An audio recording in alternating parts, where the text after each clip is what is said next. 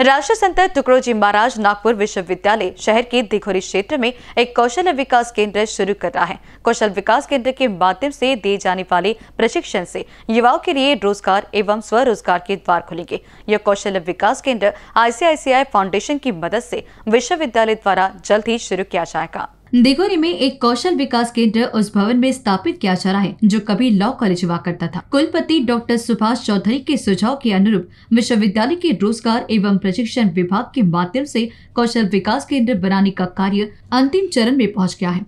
विश्वविद्यालय के शताब्दी वर्ष के अवसर पर माननीय कुलपति डॉक्टर सुभाष चौधरी की संकल्पना से मिशन रिजिंग टू अनरिच के तहत कौशल विकास केंद्र बनाया गया है। इस स्थान पर कंप्यूटर लैब का काम पूरा हो चुका है, जबकि सोलर पैनल लैब निर्माणाधीन है।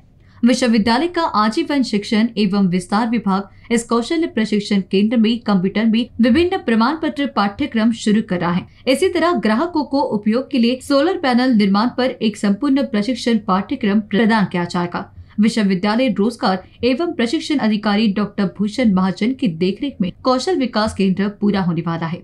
इस कौशल विकास केंद्र का उद्घाटन शुक्रवार 5 जुलाई 2024 को दोपहर एक बजे माननीय कुलपति डॉक्टर सुभाष चौधरी, प्रति कुलपति डॉक्टर संजय दुते रजिस्ट्रार ये सभी संकायों के डीन राजू हिवसे की उपस्थिति में आयोजित किया जाएगा।